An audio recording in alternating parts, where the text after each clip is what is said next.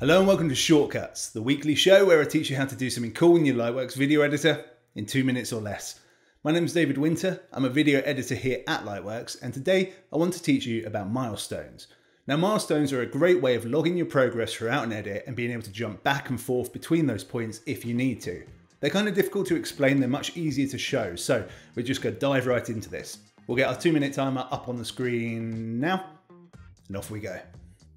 So a milestone is created every time you make 10 editing actions. An editing action is just about anything you can do inside Lightworks, but for the sake of an example, I'm just making lots and lots of cuts here to my footage.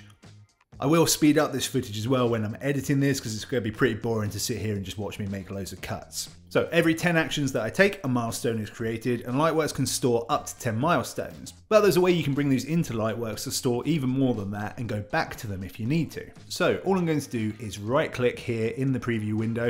I'm going to go down to the make option and I'm going to choose bin of milestones. Now, as you can see, that's automatically opened the bin up for me. It's also created a heading under the bins tab here in the project contents.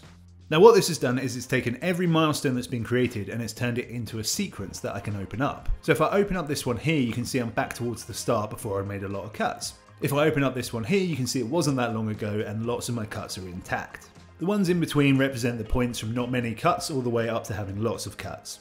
So as you can see, I can use these to move back and forth between different points in my edit. Great for if I make a mistake or just regret the direction that I've taken my edit in.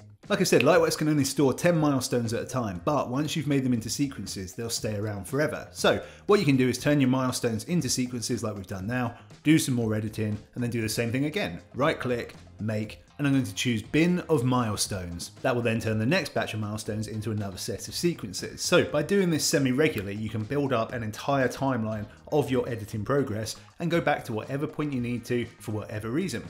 Like I said, kind of a tricky one to explain this one, but hopefully seeing it in action has made it a bit clearer for you. Thank you so much for watching this episode of Shortcuts. I hope you found it useful enough to like and subscribe to our channel. And now I've got a special deal for you. If you're here watching Shortcuts, that means you're dedicated to being the best editor you can be, and I want to help you on that journey. So, if you're interested in upgrading from Lightworks Free to an annual or outright Lightworks Create membership, just use the code SHORTCUTS at checkout. That's shortcuts, all one word, capital S, capital C at checkout, and I'm going to give you 50% off of that annual or outright membership to Lightworks Create.